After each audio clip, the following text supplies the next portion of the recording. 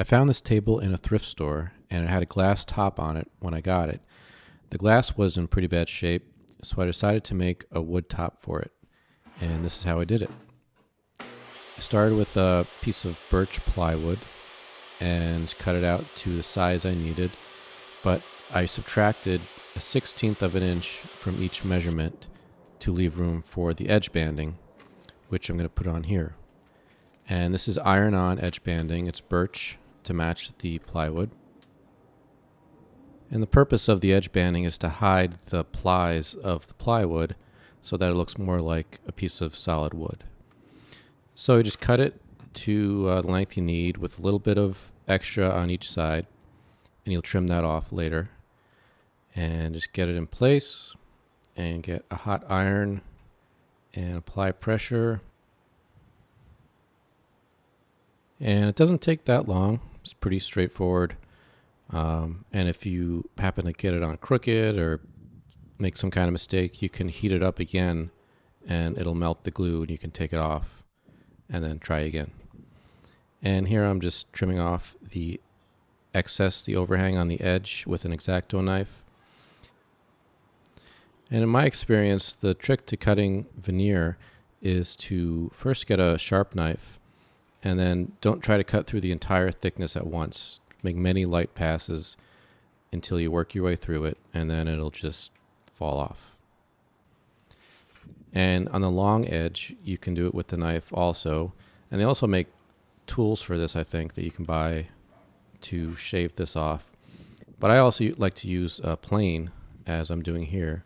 This works really well uh, and it's kind of fun.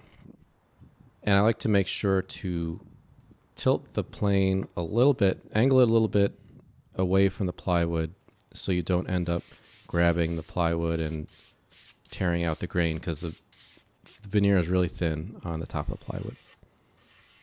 And then just sand it. Uh, sand the corners so they're not so sharp. And this is very light sanding. I found this birch plywood to be a little difficult to stain. Tends to be kind of blotchy, which is true of any birch in general, but especially this plywood. So I'm applying some shellac first as a seal coat to just to prevent uh, too much stain from being absorbed and getting lots of blotches. And I'm going to use gel stain, which will further reduce the blotchiness because it's so thick. Uh, the wood doesn't absorb it like it would uh, an oil, or regular liquid oil stain. So after I applied the shellac and let it dry, I just lightly sanded with 320 grit. And then here I'm applying the stain. And this is General Finishes gel stain. And the color is, I think, antique walnut.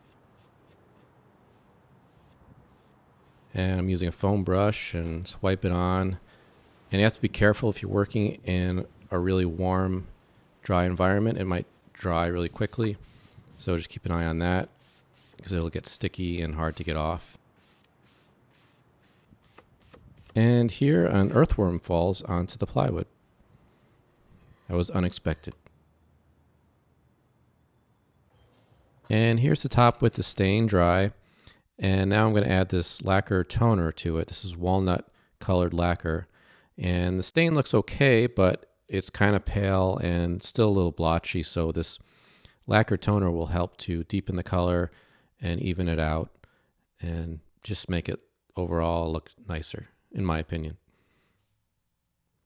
And I just put this on really light and work your way up to the color you want. Don't try to put it all on at once and get it all dark at once. And here it is with a toner. And this is the bottom without the toner and just the stain. And you can see the difference in the color. The bottom is a lot paler than the top.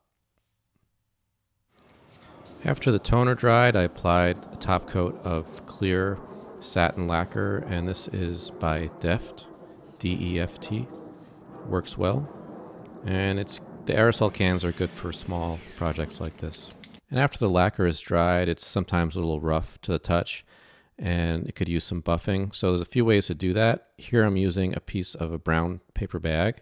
Rip a piece off, fold it up, and lightly go over it, and that works really well most of the time. Or another way is here I'm using 4-aught steel wool and wax.